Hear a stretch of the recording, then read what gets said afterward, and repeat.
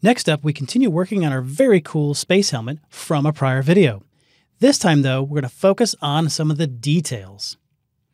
Let's zoom in here and check out this recess. So this one is done correctly. I'm going to pose that to this, which is more of an extrusion.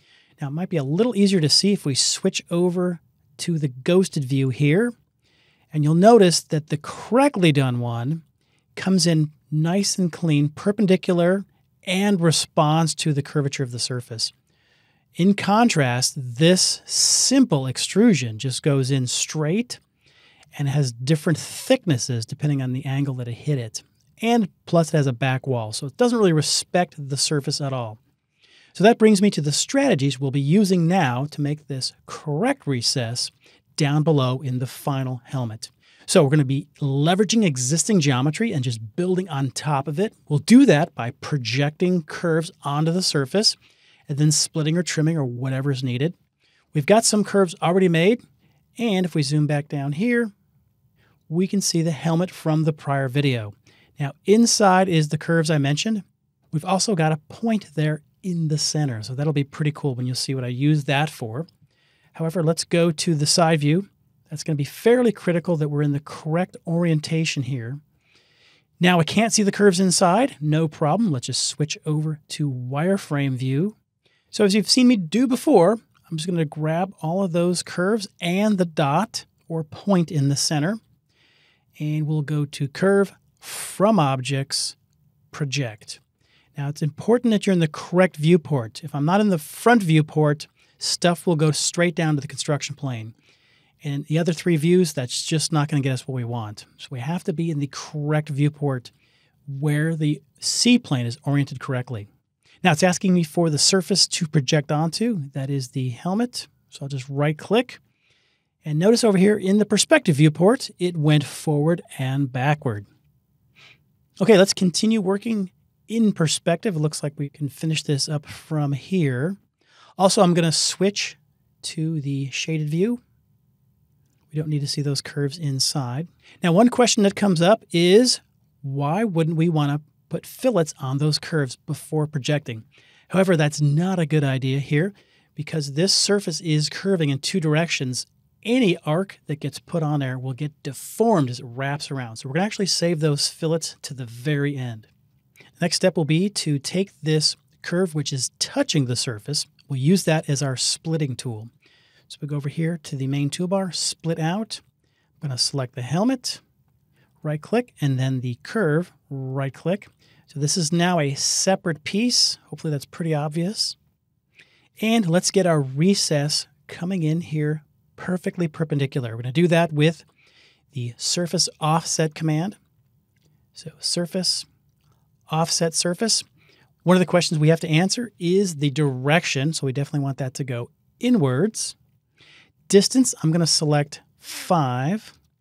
And every time you do this command, you do have to reset the solid to yes. Otherwise, it goes back to the default of no. So that looks like everything is set up. We'll just right click to let it go. Sometimes this can take a while depending on the complexity of the surface. Now, this looks like the wrong thing yet again, but it is correctly constructed. We only have to do one extra step here, and that is remove that outside piece. I like to use the opposite of explode, which is extract. So I right click and that gives me a single surface. So if you right click to enter and then hit delete, you end up with the inset surface and all the walls coming down. Really nice. That is the key to getting this perfectly perpendicular. Now, before we join this together and do some of the filleting we talked about earlier, let's have some fun and draw a curve right on this surface the trick will be how do we make that perpendicular for our antenna?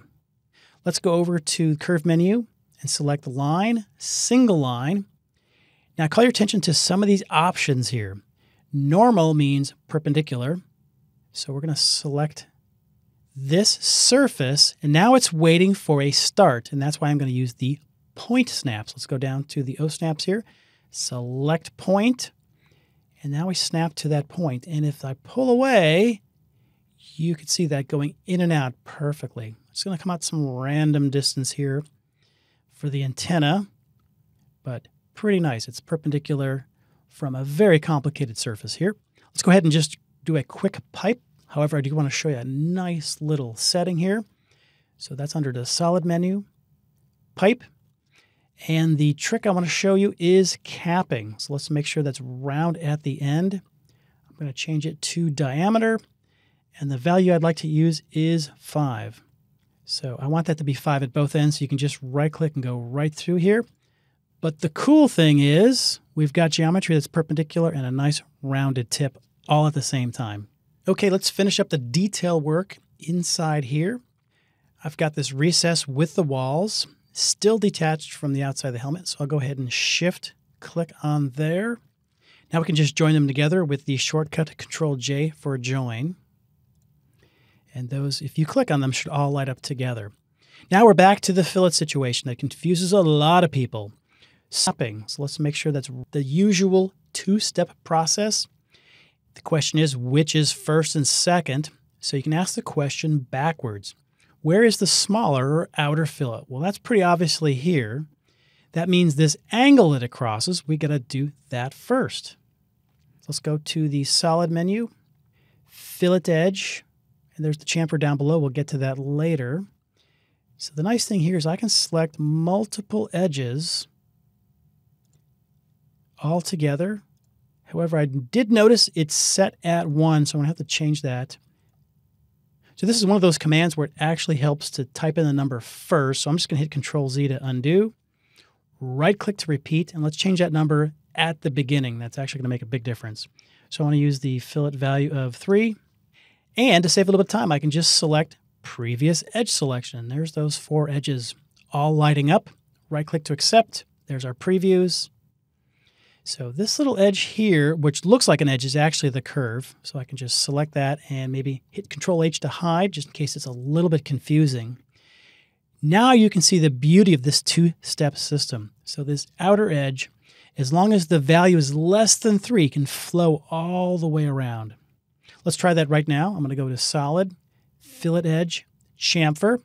Again, let's make that distance modified at the beginning. It's already set to 1, which is what I want to use. However, there's another cool feature here, chain edges. Let's skip that for a second and just show you what might happen with a complicated surface. It's broken up into little pieces.